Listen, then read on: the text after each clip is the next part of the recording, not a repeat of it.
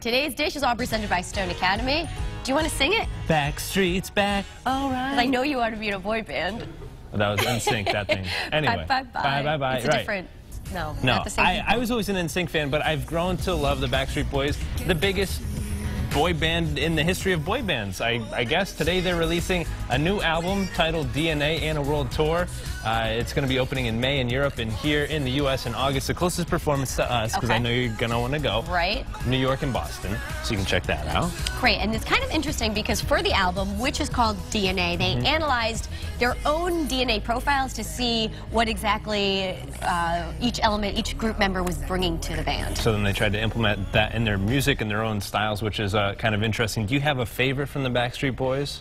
Justin Timberlake. J- Justin, t- Wrong one.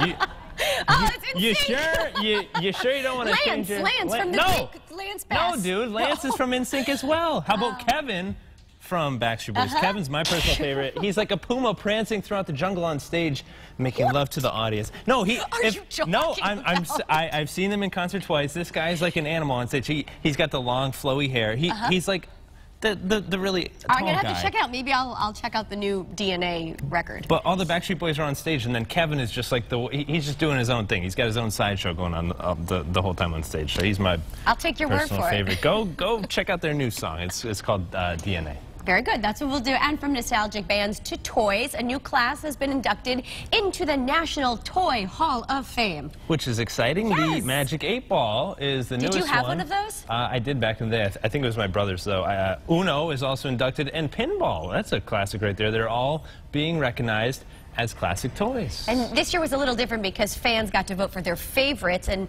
68 toys have been inducted into the Hall of Fame of all time. Yeah, that was uh, Justin Timberlake's favorite game, I think. So, yeah. what was your favorite as a kid? I mean, do you have a, a childhood toy that really just Ca- um, uh, well, Cabbage Patch Kids and Pound Puppies. Uh-huh. pound puppies? Are you familiar with no, Pound Puppies? But the, they were so cute. so it, to me, that's a pillow pet. What- Similar, but that I think was also a thing, a pillow back pet. then? Yeah. Still, so so what were these? They're just They were just stuffed animals that you rescued, Well- and they were dogs, and they all had little cute stories. they look kind of sad. I mean, They were because they were coming from the pet. Oh, oh, okay. Wow. Well, th- this is a Mission accomplished. This is a real uplifting What about you? here. I was going to say this is like the, the old school Paw Patrol right there. My ah. favorite was Stretch Armstrong. That's that's me and my pop Oh my gosh. playing with Stretch Armstrong. Wow, you, you he's I- long. yeah, well, yeah, he is. But He it's stretched him. He yeah, stretched that guy out, I guess. But it's interesting. He he never had a shirt on. He he always just had a bikini on. You had to stretch him out, and that was it. That was the whole. That was the whole Did bit. you gnaw on him? I understand that you actually like No. would bite Come on on, stretch. We, we don't have to talk about how I used to bite. well, it was a weird material anyway. yeah, no, right? I know. Yeah, so Stretchy. I was a curious young boy, I guess. I don't know. Okay. Just How stop. Much, They're saying just stop. Just, just move on. we touched upon this earlier. How much do you really love those burgers on the grill or bacon? We're talking about red meat. Talking about red meat. That's it.